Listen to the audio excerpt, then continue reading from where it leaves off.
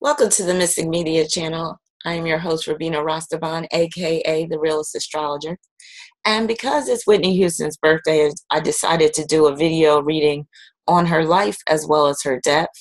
But before I get into that, I just wanted to make an announcement regarding my upcoming workshop on numerology. So let me just share my screen and talk about this real quick.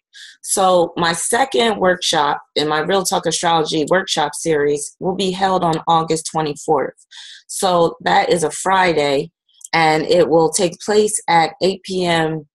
on um, 8 p.m. Eastern Time. So, it's going to run into um, 1 a.m. if people are going to, you know, stay on that long. So, basically uh, practical numerology for self-improvement and empowerment is the second workshop of my real talk astrology webinar series. Upon completion of this four-hour workshop you will have the ability to make better sense of your place in the world as well as your destiny through the use of my numerological interpretation methods. Once you gain understanding of the energy that is inherent in each number you will become more empowered when it comes to scheduling important dates looking for potential mates, as well as making other important decisions that impact your life. So I will leave a link to this Eventbrite site in the description section so that you could purchase a ticket. So there's still plenty of time left to purchase a ticket, and it's on a first come, first serve basis. There's only 15 slots available in terms of the uh, readings that I will provide during the workshop, but there's 20 virtual seats available so the last five participants, if there'll be 20, uh, will receive their numerology reading via email. So, it, like I said, it's first come, first serve basis. So you want to get your ticket as soon as possible. So now on to Whitney Houston.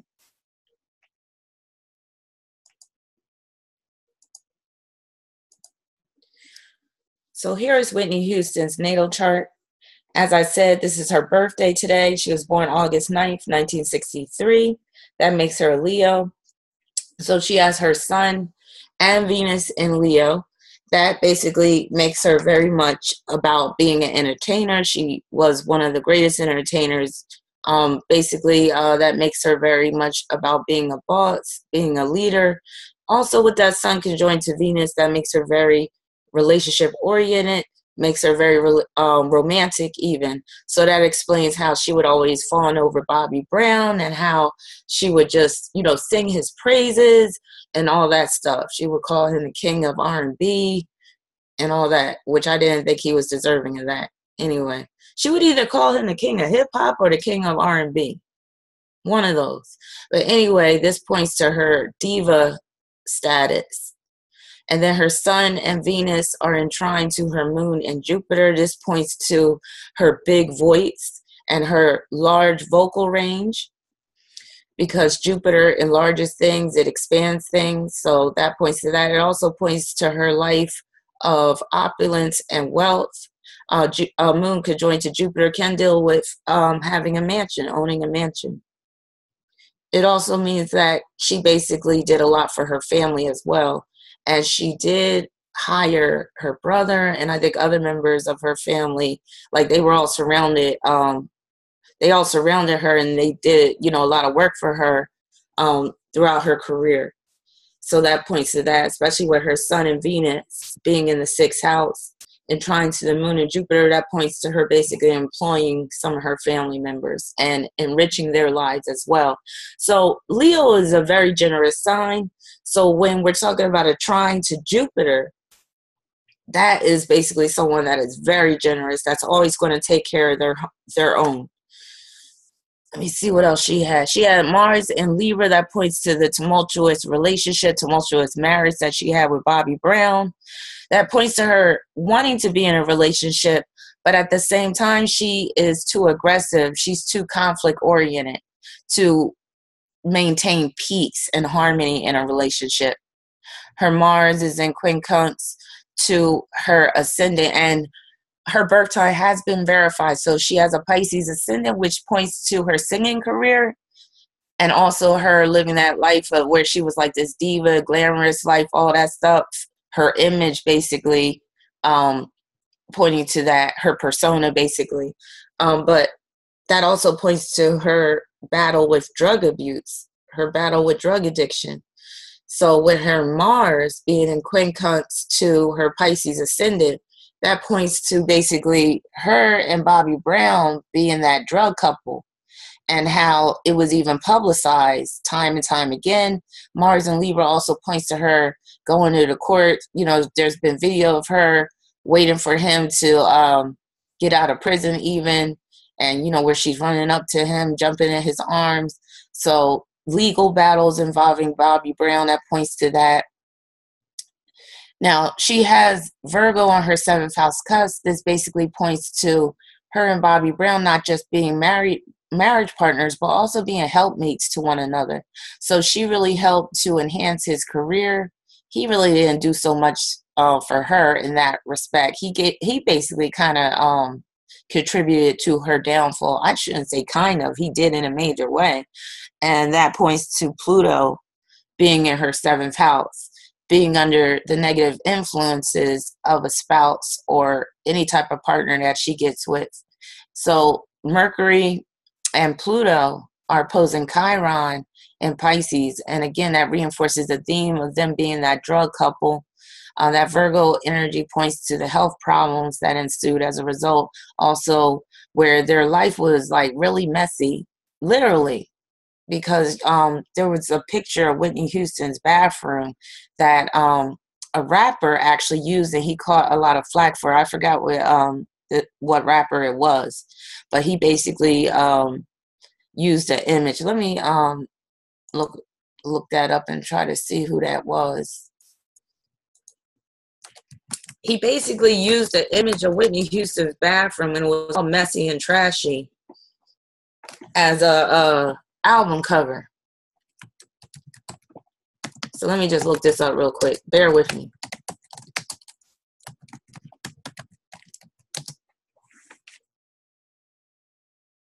I just put in rapper use Whitney Houston's bathroom. Maybe I should have said it like that. I should have said photo. Pusha T. Okay, that was close enough. So Pusha T had a photo of Whitney Houston's bathroom and he used it for his album cover, Daytona. Now, this goes back to Kanye West because Kanye West was the one who paid for that bathroom photo, he paid $85,000 to use that bathroom photo.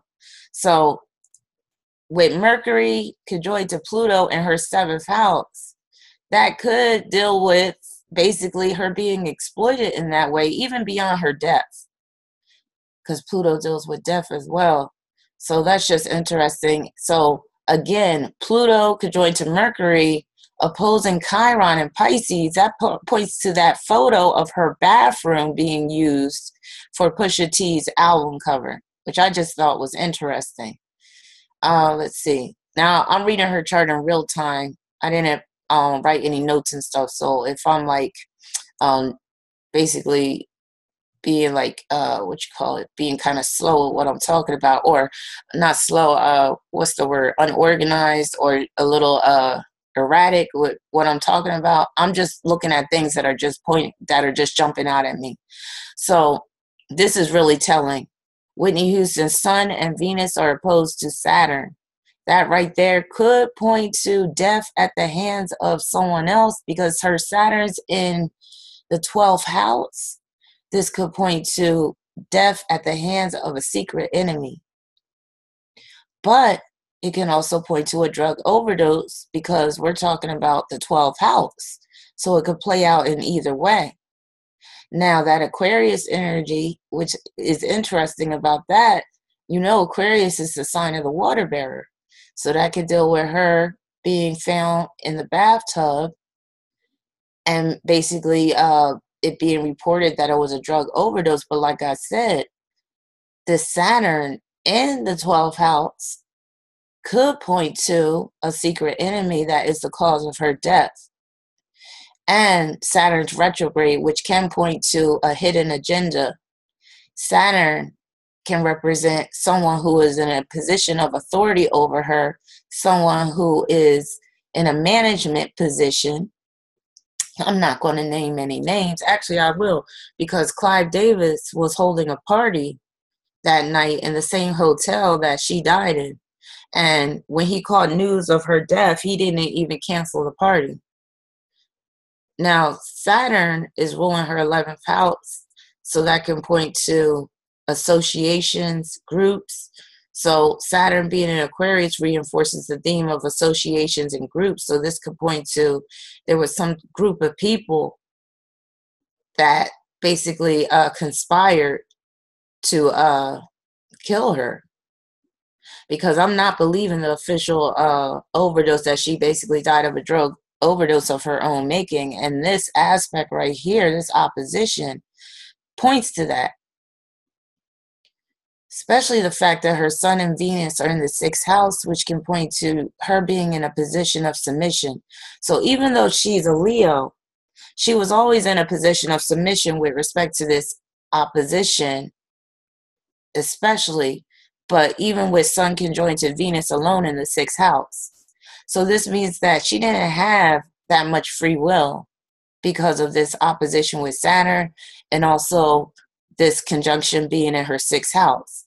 So she was always subject to someone else's authority, and it makes a lot of sense because she was in the music industry. Also, this can point to her being um, involved in scandals because the 12th house can deal with scandals. What's her Neptune doing? She has Sun square Neptune, Venus square Neptune. That can deal with the drug addiction right there, impacting her ability to function, impacting her professional life, tarnishing her image, especially because Neptune is in the eighth house and it's in Scorpio. So she had it bad with the addiction. And Venus square Neptune can deal with a lot of money being wasted on drugs. Also, this can deal with foul play as well. Because remember, Neptune is like the 12th house. So the theme of secret enemies is coming into play again. So, with the eighth house, Neptune and Scorpio, at the 12th degree, that 12th degree is sacrifice victimization being squared to the Sun and Venus. That is showing that there's a good chance that she was murdered, not where she overdosed. Now, this could deal with an overdose too. This is why astrology can be real tricky because this can deal with an overdose too, death via overdose, which she was. She was basically died because of an overdose. But what I'm saying is, it doesn't look like she was the cause of her own overdose. Same with John Belushi. John Belushi died in a similar way where he died via overdose, but then it was found out that it was a woman who gave him the lethal dose. And that's evident in his chart. So again, it's important to look at the rulers of these houses so you could determine whether it was her that did it or whether it was someone who created this depth and made it look like she basically overdosed. Now, her sun is conjoined to Venus, which is very telling because Venus always deals with other people. So, this can deal with some other person being involved in her drug overdose. So, that's what I'm saying. I don't see it, I don't see indications of her basically inflicting this upon herself. Now, Neptune rules her ascendant, which reinforces the drug overdose. It reinforces the issues with addiction. It also reinforces her being involved in a bunch of uh, scandals in the media, namely uh, with Bobby Brown being locked up several times. The Sun Square Neptune can produce a husband that gets locked up, can also produce a husband that is like a, a, a leech or even a moocher, where he basically is feeding off of her fame and her stardom now I'm going to stop right here and I'm going to pick this back up with a part two because I have a feeling this video is going to be kind of extensive.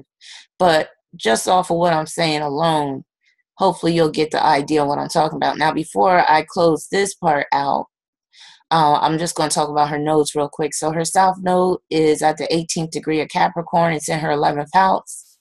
Her North Node is at the 18th degree of Cancer, It's in her fifth house. That fifth house North Node points to in this lifetime, she was supposed to be a mother. So that's why she was so close to Bobbi Kristina, And Bobbi Kristina was like her whole world, aside from her having to be a performer and all that stuff. But the North Node's at the 18th degree, which can point to serious conflict involving her child. Um, material spiritual conflict, even. And, um, you know, there was some issues involving Bobbi Kristina, and Bobbi Kristina ended up dying as well. Her North Node is in quincunx to Saturn in Aquarius, which can point to the death of a child. But as we know, Bobbi Kristina died after Whitney Houston, but still is still showing in the chart the possible death of a child due to this aspect. Also, she had her north node in square to Jupiter and the moon, and this can deal with basically her being in uh, her being a public figure, her being on the road, and a lot of times her taking Bobbi Kristina with her, and that impacting Bobbi Kristina's life. Basically, she didn't have a regular home life, with, uh, as evidenced by this aspect. Now, with Whitney Houston South Node being at the 18th degree of Capricorn, she just had uh, heavy karma with respect to business, with respect to companies, organizations, with respect to her career, even. So, being too career oriented in this lifetime cost her a lot, cost her a lot in terms of her personal life. So, her personal life was always under great scrutiny because she was this mega professional uh, person. I mean, she was this mega star. So that South Node in Capricorn points to her being a public figure, being out in the world, but that being to her detriment. So the South Node being in the uh, 11th house means that she needed to always be very careful about her associations, even some some of the friendships she had. And that brings to mind Brandy. Remember when Whitney Houston passed that note to Brandy? Brandy's kind of suspect in a lot of this uh, story with Whitney Houston. So I might be doing a synastry with uh, Brandy and Whitney Houston in one of these parts, but this is just part one of my video reading series on Whitney Houston. Stay tuned for the following parts. Now, if you would like a reading, you could go to my website at rahbinah.com. Peace and many blessings, and I'll be back soon.